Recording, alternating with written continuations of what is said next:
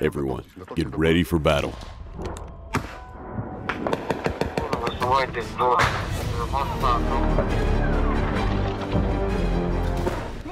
We're surrounded. Tanks are shooting at us.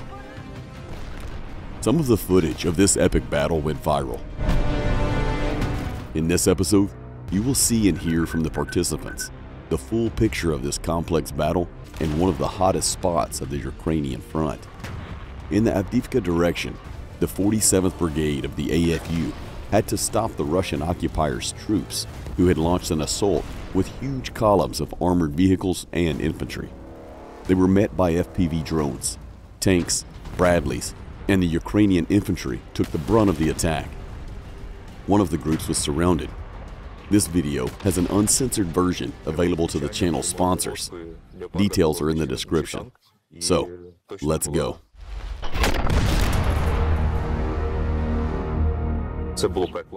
It was hell. There was no other way to characterize it.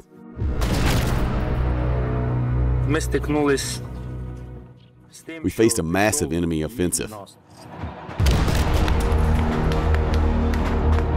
There was a lot of their armored vehicles, a lot of them. They were moving toward us in columns.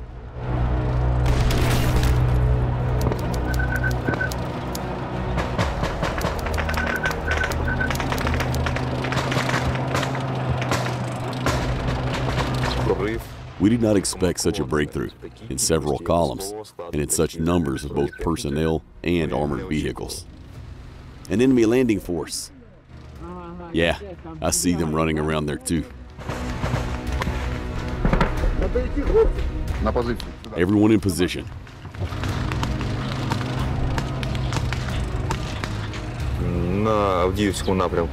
The enemy continues active offensive in the Avdiivka sector.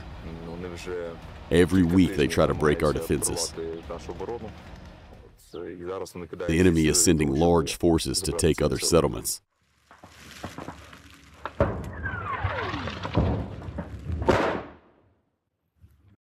It was close.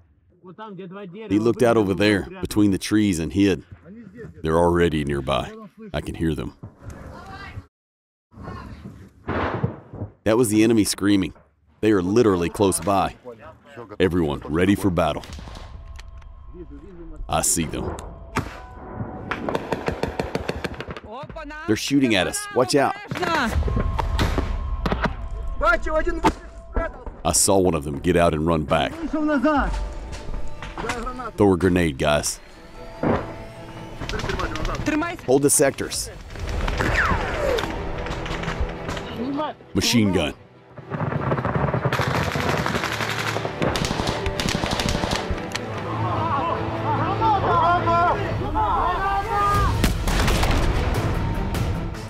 Something is coming to us. Sam, the column storming our position. Move to the bridge. Roger that.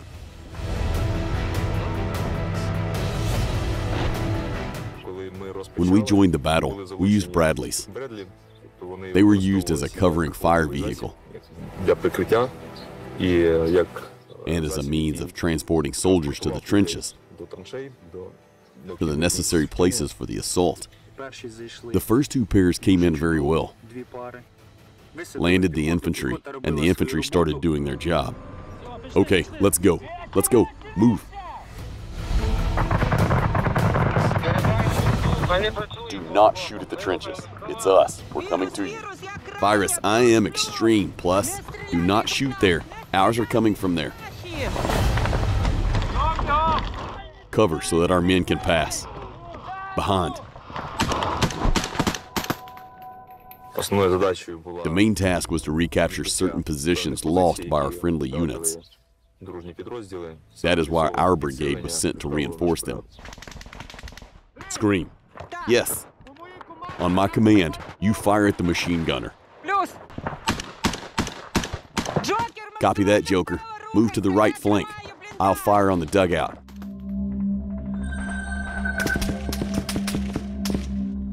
Give me a grenade.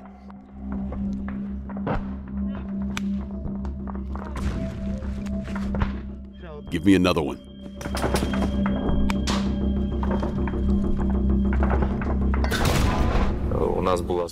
We had planned a certain operation, certain actions, and we worked out certain areas. And as soon as our armored vehicles rolled back, we saw enemy columns with more than 100 vehicles. It was about two brigades, two brigades that were on the offensive on a very narrow section of the front. An enemy assault is moving towards us. They are moving on vehicles, starting to land. They tried to move in several directions, in several columns, in order to succeed somewhere. Enemy armored vehicles. We met them with fire. Now our tanks will help. Bradley's were the first to enter the battle. And then our tanks also began to work on the enemy vehicles that were moving. Harp, I'm Hammer. Are you on your way? Over. Hammer, I'm Harp. I'm almost there. Ahead of you will be an intersection in a forest belt. Distance is two kilometers. There are enemy vehicles there. The orcs in this direction are somehow crazy. When we drove up to the trenches, they thought they could destroy Bradley with a machine gun. The shot came from that side, from there. Are they shooting at Bradley?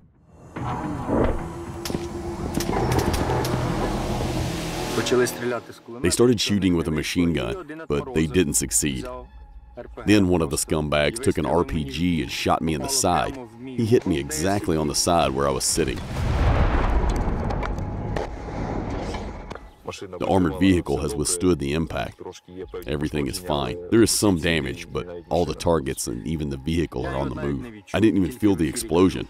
I just said on air, guys, we were hit. The crew laugh and ask, can we go? Yes, we can. And we left.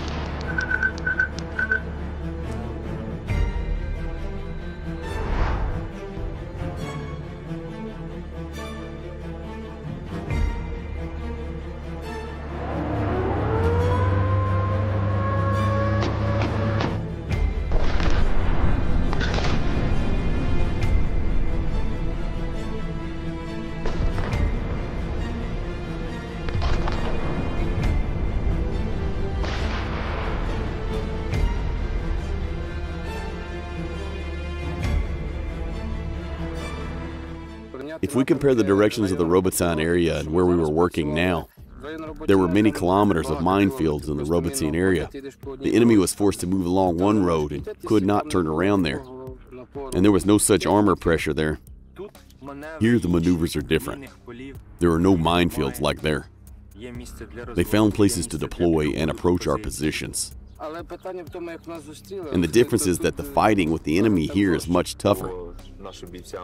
Tanks and IVFs, small arms and machine guns were fired at our fighters. In addition, we faced enemy resistance and counterattacks.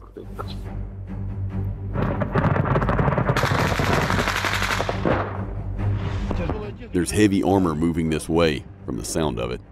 From left, On 10 o'clock. On 10. Give me an anti tank missile. Hurry up.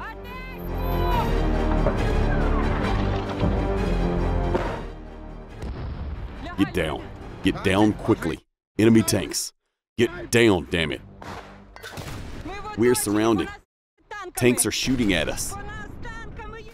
Shit. Enemy tanks are shooting at us. There were quite a few enemies, and when their offensive began, they landed a huge number of additional personnel in a very small area. We did not know how many of them were there. Everything was so dense that we could have missed and driven straight to the enemy. We counterattacked, but we did not know that they would attack with such forces. They attacked with very large convoys of vehicles, there were also a lot of infantry. The infantry was on tanks, on IVFs. The vehicles were just covered with their infantry. When our men started storming the trenches and began to advance a little, the columns wedged themselves into our combat formations. Accordingly, tanks and IVFs were firing at our fighters. But thank God, at that moment, our colleagues, the drone operators, worked very effectively.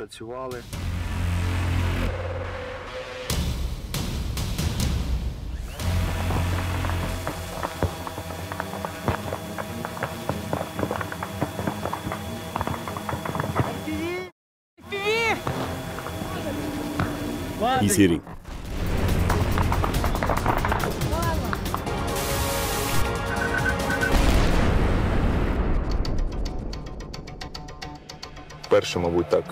This is the first time I have seen such a large-scale operation of kamikaze drones, and I can characterize them as a very effective weapon. Thanks to the drones, we were able to react faster and were able to destroy certain armored vehicles that were moving and thus stopped the enemy's advance. At the same time, our tanks worked. They worked very well. Respect to them. You hear the Bradleys coming from there? Bradley's moving on 12 o'clock. Cover your ears.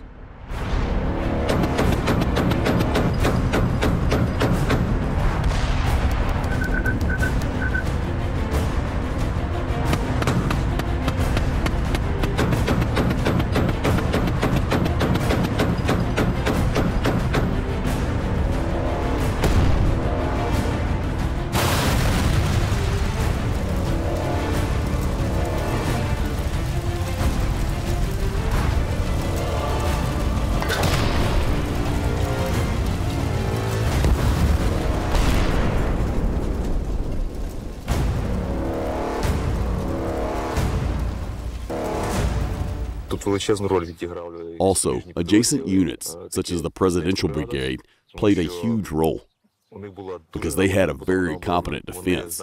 They knew this terrain. They were blocking these columns of armored vehicles that were approaching and repelled the attacks of two columns. Our tankers helped a lot.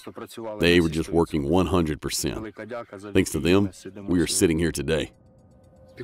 And the infantry are heroes in general. We're going to try to advance to that dugout. Who's ready to go with me? There are orcs between us. Don't go alone.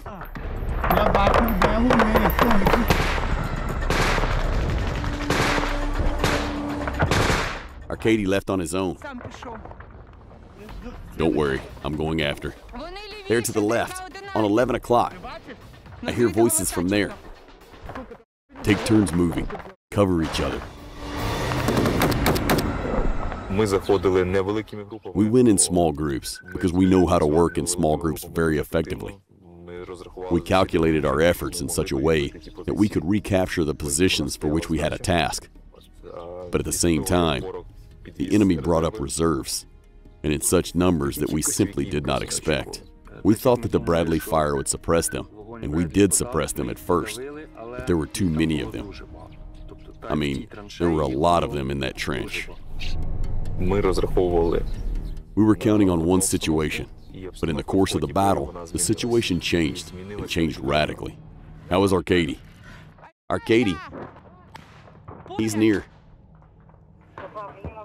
I need grenades, over. You have grenades? Yes, Arcady needs grenades. Cover him. I'm throwing a grenade. Okay, go. I hit it. The others started to move. Now the enemies are throwing.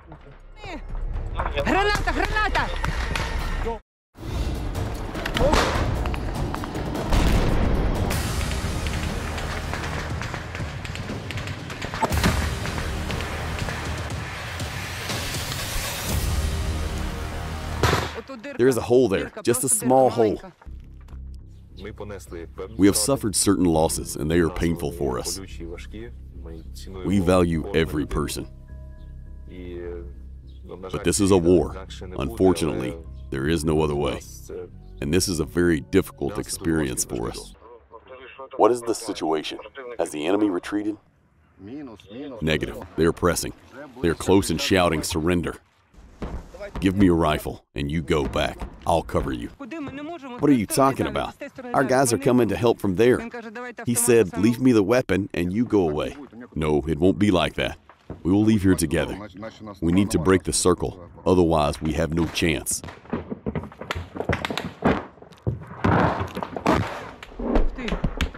It's mortar fire at us. Yes, and it's getting closer. Yurt, this is ground, over. Ground, save your ammo. Two Bradleys are on their way to you. We'll try to get close to you. You just hold off their infantry. Hold the sectors. Suppress their infantry with machine gun fire. Come on, we have to hold out. The drone operators were paving our way. We were also corrected by soldiers from the trench who went to help the group. We broke through in two vehicles. I knew that there was one seriously wounded man, and they would need to carry him. How fast they could jump out of the trench and how fast they could carry him, I did not fully understand.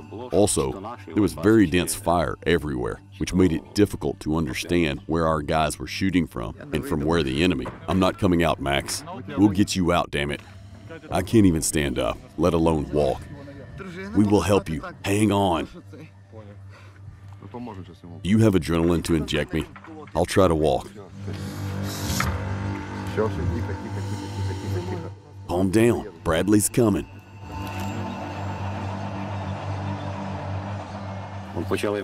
We started to maneuver, and the driver saw our guys running towards us. Then I decided to shoot smoke to cover their movement. We also suppressed the enemy with cannon fire. The volley of these smoke grenades had a psychological effect on the enemy, the effect of surprise. They did not realize that it had started. And so we gained time. Is everyone listening? I go last, you go first. We shoot and run there. You get to Bradley, reload, and cover the group.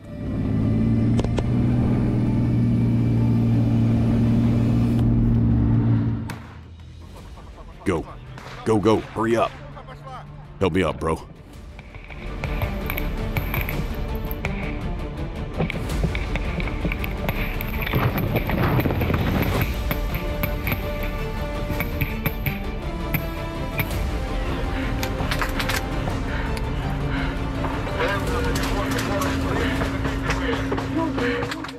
Come on, guys. Hurry up. Close it.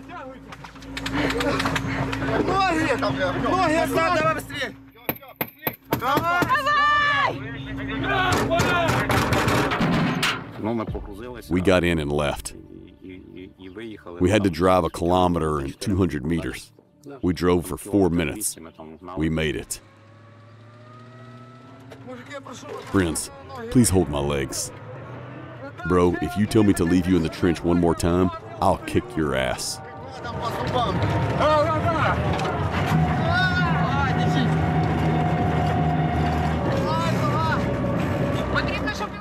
We need medics to meet him there.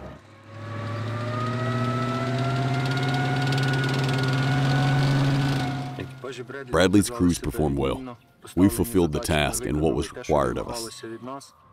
Hold his legs. Leopard tanks also took part in the battle. At first, they hit the enemy's manpower, and then moving armored vehicles. I can confirm this for sure, because I saw with my own eyes how a leopard destroyed an enemy tank. Shot.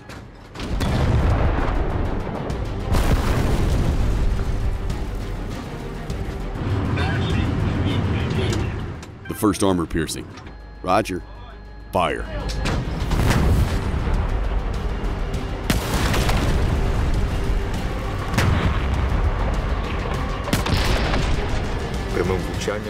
A direct hit by a Leopard destroyed an enemy tank, and I also saw infantry destroyed by them.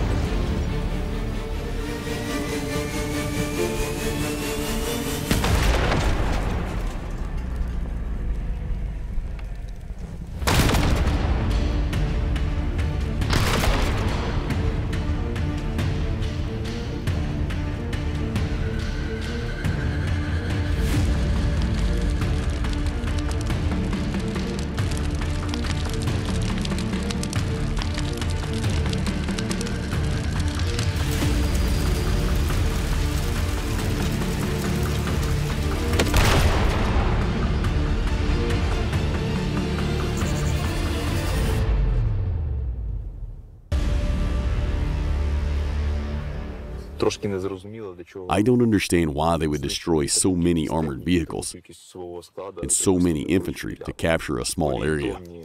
The estimated enemy losses in this battle, which we have accurately recorded from drones, are around 900 people.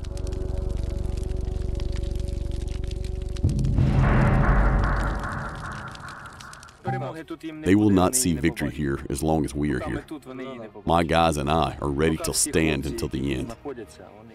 If you are interested in today's episode and would like me to continue doing episodes like this next, then let me know by hitting the like button and leaving a comment. You can support the author by the details in the description. Thank you.